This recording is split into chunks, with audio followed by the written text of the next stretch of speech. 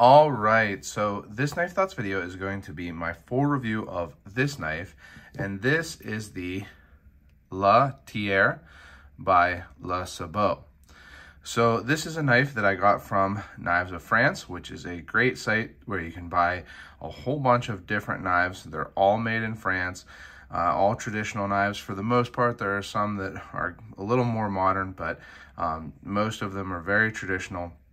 And this La Thiers is an interesting knife because when you look at it, it looks extremely traditional. It has, you know, a very classic horn handle with a bolster, a nice simple kind of upswept blade shape there. Um, and then it does have stainless steel, but that's, you know, something that is on a lot of traditional knives. But there's a really interesting story behind this knife. And first of all, I want to highly suggest that you go and check out Stefan's blog at knives-of-france-blog. Uh, not only is his dealer site great because you can get a lot of cool knives, but I really, really enjoy his blog. Uh, he goes into articles and lots of detail on a whole bunch of different patterns of knives that, that he has on his site and generally French knives. And so there's a really interesting article on this La Thiers. And what happened was this city, Thiers, became, you know, hundreds of years ago, the capital of knife making in France. So uh, most of the knives, or at least the majority of knives, were made in Thiers and it was known for being, you know, the capital of knife making in France. And the the other cities, so there were other cities making knives, and they became known for certain other models. But for whatever reason, Thiers never had its own actual pattern, its own model. And so in 1994, which is interesting because that's relatively recent, less than 40 years or less than 30 years ago. Um, and so less than 30 years ago, a conglomeration of knife makers and cutlers, knife manufacturers came together and made a guild that basically created this pattern. So they created this pattern for the city of Thiers. And it's a pattern that can be used by, you know, whatever manufacturers as long as they follow the guidelines. So it's, um, you know, a specific pattern. It has this kind of S shape to it. It has uh, specific, you know, qualities of manufacture. It has to be made to a certain standard. The materials, all of the, the knife has to be made in or around Thiers. Uh, and so it gives it the, a distinctive look. So when you see a La Thiers, you know that it's a La Thiers. And that's true whether it is from Le Sabot, like this one, or there's lots of other manufacturers that make them.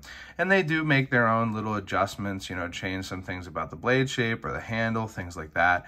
But, you know, when you see one of these knives, the La Thiers, it is immediately apparent that it is that pattern. So I think that's really cool because what it does is it, it gives it some authenticity. It makes it so you know when you're getting one of these knives that it was made in this or around this city, um, that it is made in France, that it's made up to the standards. Now, this knife isn't GEC level fit and finish, um, but it is a very nice knife.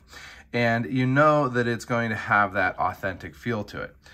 So I really like this knife. I really like the design itself. It feels great in the hand. It's a pretty big slip joint. You can get a full four finger grip on it. Um, I think that it is a very practical handle and blade shape, very comfortable in the hand. And you know, you can use that blade shape for pretty much everything. Um, cutting up your uh, baguette, if you want to use stereotypes, uh, but actually your, your lunch basically is what I kind of am thinking of there. Um, so cutting up your, your sub, if you want to use the Western Pennsylvania nomenclature for it. Um, but whatever your lunch is, cutting that up, um, as well as, you know, outdoor tasks. I think that it's going to work well for um, fishing, you know, gutting and cleaning a fish, even hunting, you know, bigger game like deer and things like that. I think this blade shape is pretty much a general use blade shape. You'll be able to do pretty much whatever you need to with it. Um, I love the horn handles. That's one of the things that a lot of knives on Stefan's site, Knives of France, have these horn handles. And I just think that they're really beautiful. And it's not something that you see on American traditional knives from places like Case and Great Eastern Cutlery. So I really like that.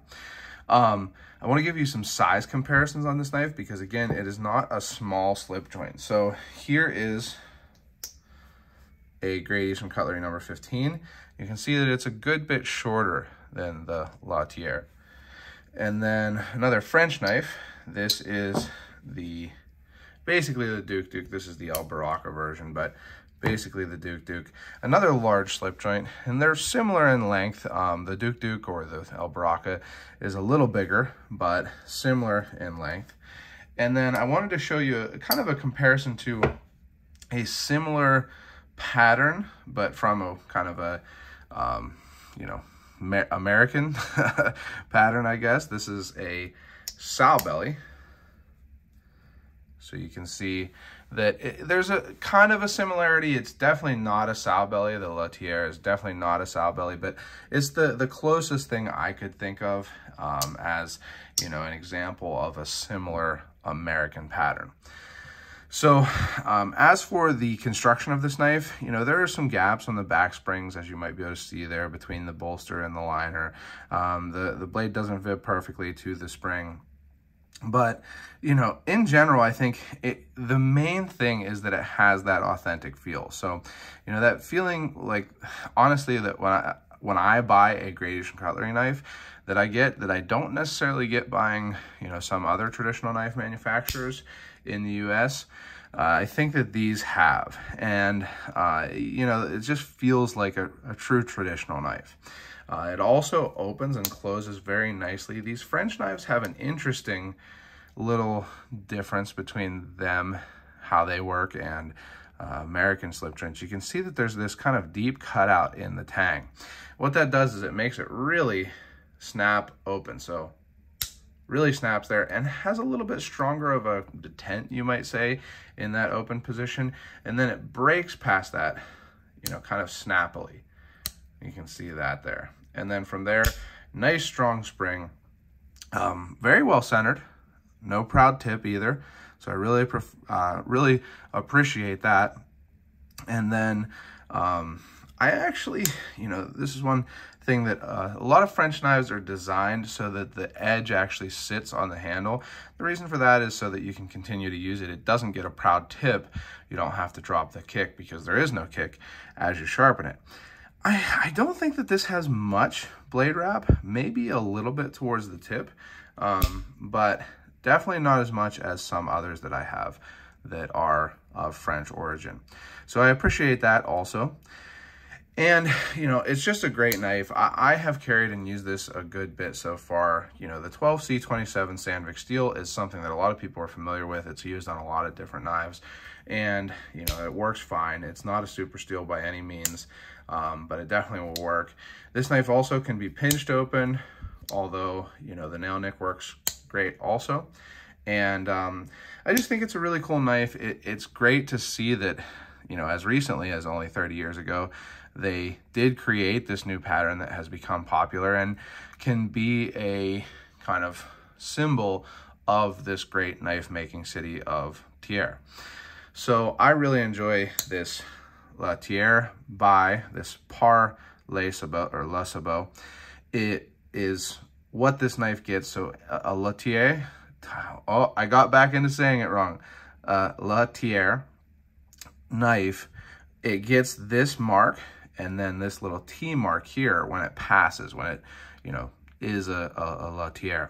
And then it also has to say par, and I'm sure I'm not pronouncing that correctly, the manufacturer. And there's lots of other manufacturers, like I said, that make them.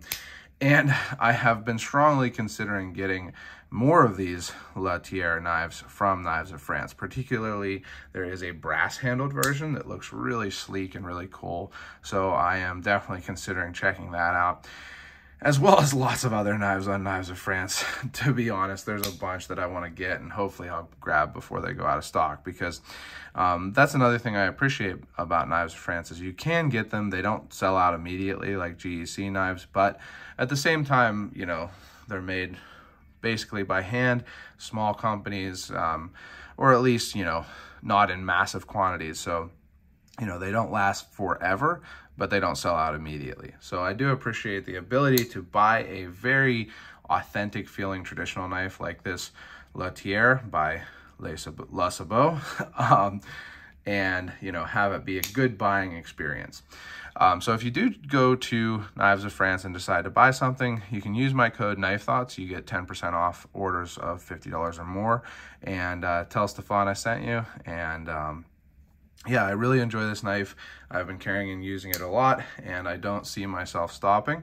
So I hope you've enjoyed this video. If you have, make sure you give it a thumbs up.